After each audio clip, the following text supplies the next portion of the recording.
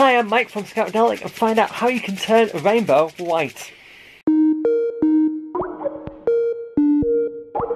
Today we're going to do a white light spinner, also known as a Newton disc.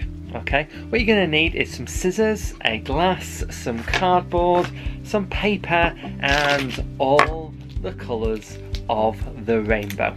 Okay, so what you need to do first is you need to, with a cup, you just need to draw around on a bit of white paper, for example. Okay. like so. And then what you need to do is you need to cut it out with some scissors. Ta-da! Then what you want to do is you also want to draw on your cardboard a circle and you want to cut that out as well.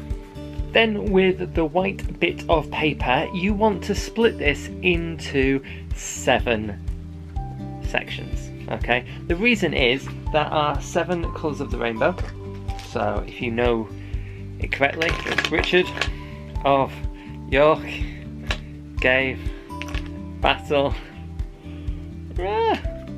in in in vain. All other ways round. Um, and what you're going to do is each of these segments is going to be coloured in a certain way. So my advice is to kind of find the middle of your circle and then obviously go from there. What I'd do is I'd start from the middle point and just draw downwards. And remember, safety is super.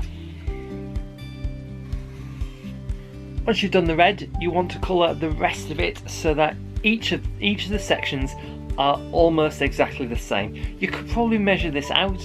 Um, I'm not that good, so I'm doing it by ear. But yeah, just you want to make sure that at least they're all similar, if not the same size, radius. I think that's the right term. Someone I'm sure will comment to tell me I'm wrong.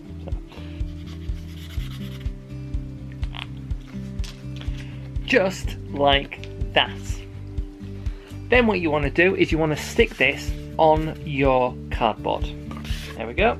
And then what you're going to do is you need to poke a hole in the middle, okay? Um, usually with a, maybe a pencil.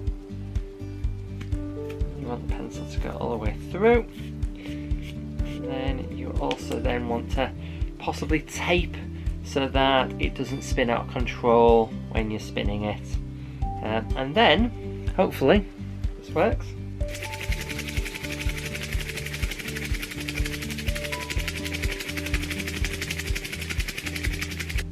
So, what you might not know is that white light is actually a combination of all the colours. So when you spin it, you are seeing, obviously, white. These colours are merging, and therefore, you get to see white. You can usually see this um, in like a crystal. So if you obviously shine it towards a light, you can usually see a rainbow. And the same effect is this. If you spin it fast enough, you will see that it turns almost pure white. There we go. Um, so this is also part of the Beaver Experiment badge as well.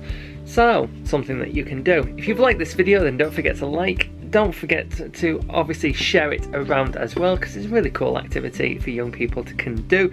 Oh, and don't forget, this month is the only time that you can get yourself one of these Oggy badges in our giveaway, so the links are below. Otherwise, please consider subscribing, and I'll see you again soon for another one of these. Bye!